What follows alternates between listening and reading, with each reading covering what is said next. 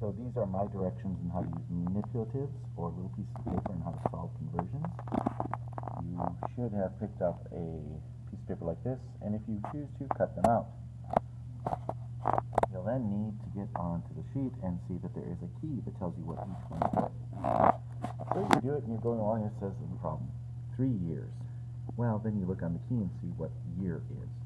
You then put year down here a year is worth 365 days. Draw a line. Then take one 365 days. Well, I'm going to put a day down there to cancel out my day. And I'm going to put 24 hours in a day. By the way, this is three years to seconds. Sorry for the bad planning there. I keep going.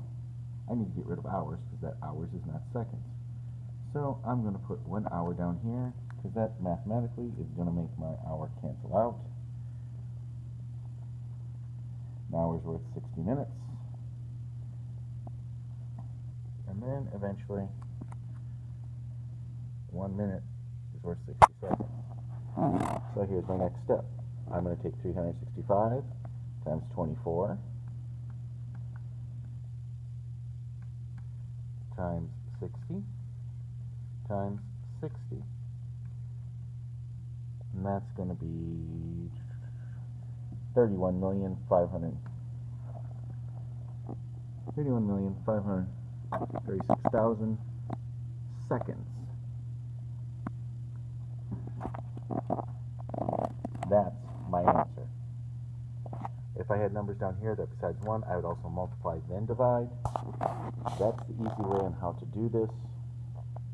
If you want, you can just write this out just as well.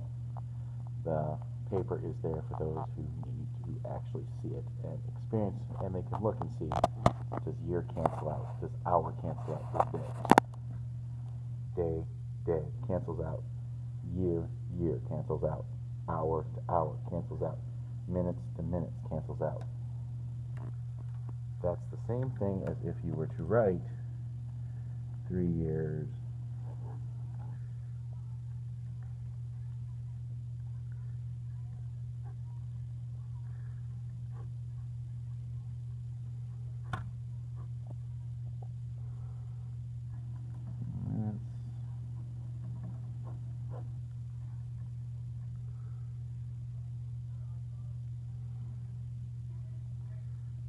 year, year, day, day, hour, hour, minute, minute.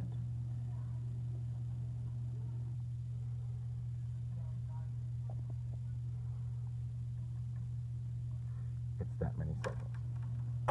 Hope this helps. Bye.